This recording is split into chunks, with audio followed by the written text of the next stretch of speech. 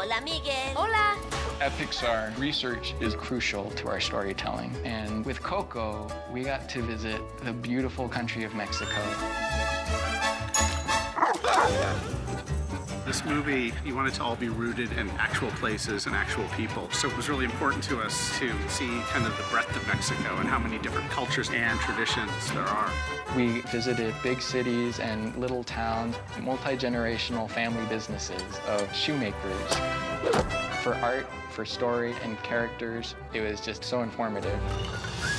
We were experiencing the colors and the smells and the sights and this incredible food. Hay que comer más. No, gracias.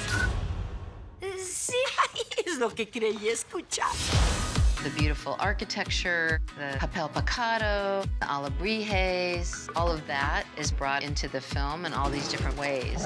And those early research trips not only inspired the look, but they inspired the story and the importance of family. ¿Qué te pasa? Ah. We learn so much of, from remembering family, where you come from, Sin música. and where you're going. ¡Voy a ser músico! And as the story came together, we realized the movie was going to be about music as much as it's about family. We wanted the score to feel like it was born out of this world. So that meant using a lot of instruments indigenous to Mexico. And it's been great to have Germaine Franco and Camilo go down and record in Mexico City.